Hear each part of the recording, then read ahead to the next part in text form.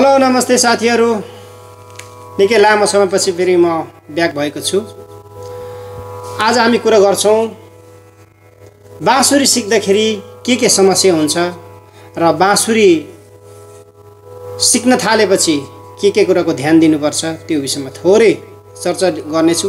जहाँ चाहिँ तपाईँहरूले चाहिँ बाँसुरीको क्रेज अहिले चाहिँ जहाँ जतासुकै टिकटक फेसबुक जतासुकै बाँसुरीको एक्टिभिटिज बढिरहेको देख्न पाउँदा अत्यन्तै खुसी लाग्छ। यसरी नै अगाडि बढ्दै जाउँ बाँसुरी निश्चित रूपमा हामी सिक्नेछौँ।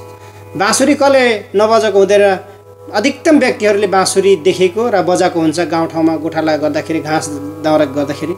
तर जब हामी विदेश पलायन भएपछि आफ्नो आफ्नो कामको दौरान बाँसुरीलाई भुलिसकेको हुन्छौँ तर ती सामाजिक सञ्जालमा भइरहेको क्रियाकलापले सबैजना ओहो बाँसुरी मैले पनि जमानामा बजाएको मैले पनि बजाउनु थाल्नु पऱ्यो मगाउनु पऱ्यो बाँसुरी भनेर धेरै हाम्रो टिकटक लाइभमा युट्युबमा फेसबुकमा कमेन्टहरू म्यासेजहरू आउँछ।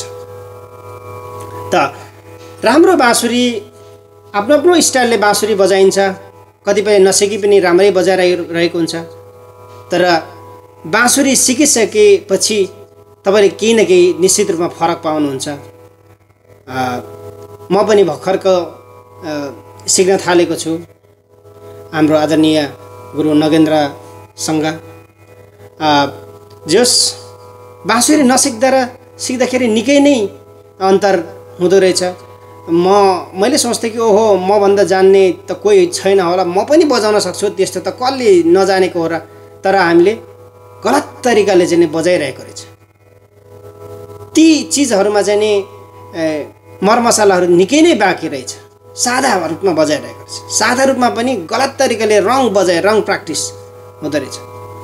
सो मैले केही क्लास लिइरहेको छु आदरणीय गुरुसँग र मैले केही कुरा भन्न लागिरहेको छु। मेन समस्या के हो त? बाँसुरी सिक्दाखेरि। भन्दाखेरि मेन समस्या हो भने के भने साधना गर्नु मन लाग्दैन।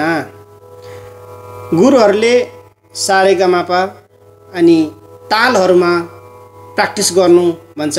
सारेगामा पधानिस स जहिले पनि हामीले त्यो बजाउनु मन लाग्दैन क्या। त्यो सबैले हुन्छ है। ए हामी चाहिँ कता हुन्छ गुरुहरूले भन्नुहुन्छ कि यो प्र्याक्टिस गर्नु भन्ने तर हामीले चाहिँ गीततिर लागिरहेको हुन्छ। गीततिर बजाउँदाखेरि मजा पनि आउने। तर त्यो चाहिँ अलिकति त्यसो नगर्दाखेरि राम्रो हुन्छ जस्तो लाग्छ। जहाँ मैले जहाँसम्म मैले भोगेअनुसार चाहिँ किनभने सुरुवातीमा ए कसले चाहिँ नि यो सारेगामा बजाउन नजानेको हो एक दिनमै म त कण्ठ पार्छु। म त तर त्यसमा सागर बाँसुरीको सागर चाहिँ त्यही भित्र रहेछ क्या। सारेगामा त्यो सबै त्यो त्यसमै रहेछ। अब त्यसमा राम्रो तरिकाले आवाज आउनु पऱ्यो पहिला कुरा त बाँसुरी प्रत्येक बाँसुरीको दुलोमा अम्ला मजाले थुन्नु पऱ्यो फुकाइमा कन्ट्रोल आउनु पऱ्यो होइन?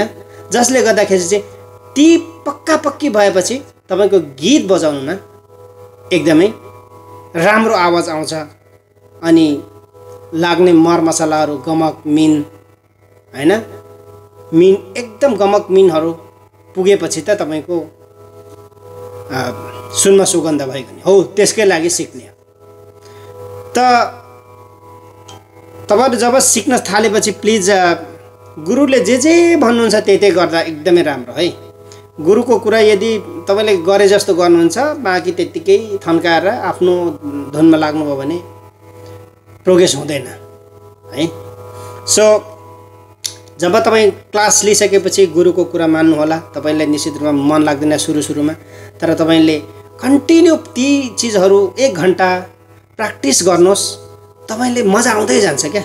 ओहो यस्तो पो रहेछ त है बाँसुरी त भनेर तपाईँले चाल पाउँदै पाउँदै पाउँदै गर्दाखेरि अनि अम्लाहरू बस्छ तपाईँको ती साधनाहरू तपाईँको शरीरभित्र दिमागभित्र बसेपछि अटोमेटिक तपाईँको चाहिँ बाँसुरी राम्रो बज्न थाल्छ।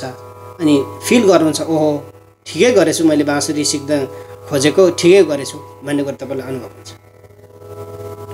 सो बाँसुरी सिक्न को लागि तपाईँ अब हरेक हरेक गुरुहरू धेरै गुरुहरू हुनुहुन्छ। तीमध्येमा अब नगेन्द्र गुरु चाहिँ तपाईँसँग कमसेकम पनि बीको र ईको जीको बाँसुरी भए तिनवटा बाँसुरी जति भए तपाईँ उहाँले क्लास सुरु गर्नुहुन्छ। र सुरुमा त्यही त मैले भनिसकेँ अनुशासित भएर जे जे दिएको हुन्छ त्यो क्लासहरू फलो गरिदिनु होला यदि काठमाडौँ इलाकामा हुनुहुन्छ भने त्यहाँ पनि थुप्रै क्लासहरू भइरहेको हुन्छ।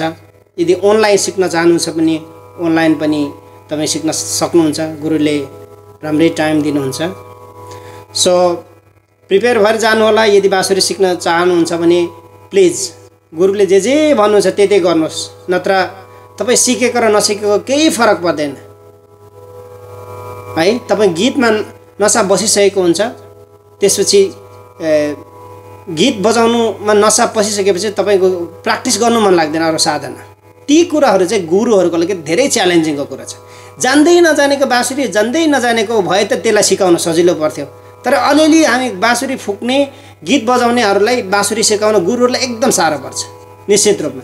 किनभने उनीहरूले त्यो गीतमा भिजिसकेको हुन्छ गीत बजाउँदाखेरि आनन्द आइरहेको हुन्छ भने साधना गर्दैन भनेर उनलाई थाहा छ। सो यी कुरा चाहिँ च्यालेन्जिङ छ। गीत पनि बजाउने हो। कतिपय भन्छ के को लागि बाँसुरी सिक्ने? भन्दाखेरि गीत बजाउनुकै लागि हो। तर गीतमा मरमसला राम्रो तरिकाले त्यसलाई न्याय दिलाउनु भन्छ नि। त्यसको लागि सिक्ने हो नि त। सही तरिकाले सिक्ने। जस तपाईँहरूको इन्फर्मेसनको लागि बाँकी कुरा केही कुरा छ भने जानकारी गराउनु होला। बाँसुरी मगाउनु होला। बाँसुरी थुप्रै हाम्रै नेपालमा आदरणीय बाँसुरी मेकरज्यूहरूले बनाउँदै हुन्छ सो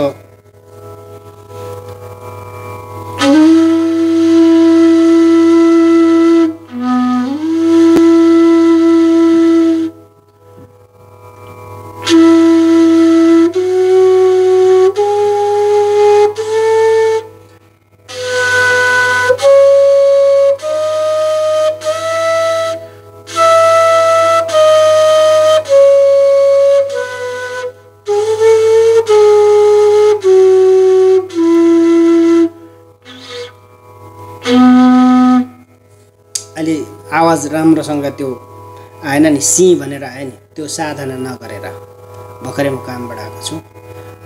मजाले साधना गऱ्यो भने ती बाँसुरीहरू चाहिँ मजाले थुनेपछि